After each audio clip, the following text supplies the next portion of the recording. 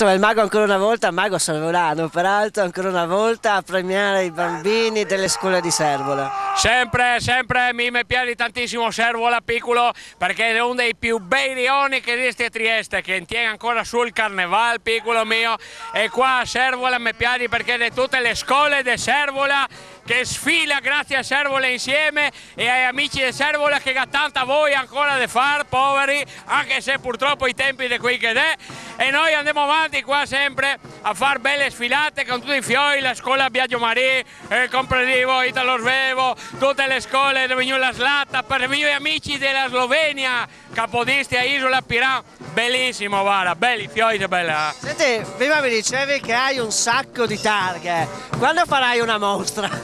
una mostra di targhe perché ho tante ho partecipato a tutte le sfilate possibili perché mi de buon istriano e triestino mi piace il carnevale piccolo mio